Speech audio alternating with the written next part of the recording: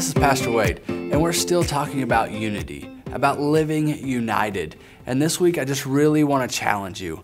Um, I know we're at the middle of the week, and, and maybe the sermon's kind of just starting to taper off, and we don't, we're not really thinking about it anymore. But I just wanted to encourage you and remind you um, to look through things in God's eyes. That we should pray and ask God, God, give me the eyes to see. God, show me how to help my community. Show me how to help my neighbor. God, put that love in my heart. Lord, just put an opportunity in front of me that I can dig into the mud, that I can get my hands dirty helping others, that they will not be left alone, God, but your love will be shown to them.